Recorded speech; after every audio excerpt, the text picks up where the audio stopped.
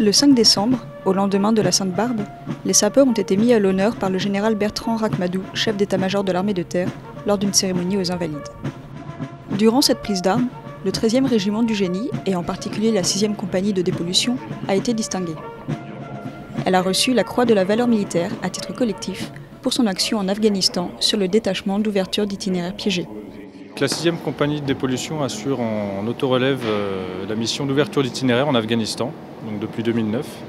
Donc elle a pour but en fait d'ouvrir des itinéraires en amont des, déploiements tactiques des unités. C'est une grande satisfaction à la fois pour, euh, pour la compagnie, pour tout le travail qui a été fait, que ce soit sur les personnels euh, qui ont été projetés en Afghanistan, mais également à tous ceux qui sont restés en base arrière pendant les projections, qui ont œuvré justement pour pouvoir être projetés sereinement en Afghanistan.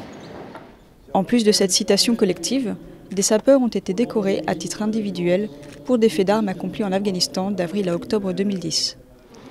aujourd'hui j'ai reçu cette décoration car euh, j'ai pu ouvrir les portes de mon véhicule de l'avant blindé lorsque le véhicule a explosé sur un engin explosif improvisé afin de libérer les personnels qui étaient à l'intérieur. Des distinctions qui permettent de mettre en évidence le rôle primordial des sapeurs, en France comme en opération. Le génie euh, d'abord une mission d'ouverture d'itinéraire et qui est une mission très difficile sur des théâtres comme l'Afghanistan compte tenu de la, je dirais, de la ruse et de la traîtrise de notre adversaire. Et là, vraiment, cette compagnie du 13e génie, la 6e compagnie, qui est spécialisée dans l'ouverture de routes, euh, réalise depuis des, mois et des mois en Afghanistan un, travail exceptionnel et a eu des pertes sévères. Et tout ça mérite d'être immortalisé par une décoration sur la Fagnon.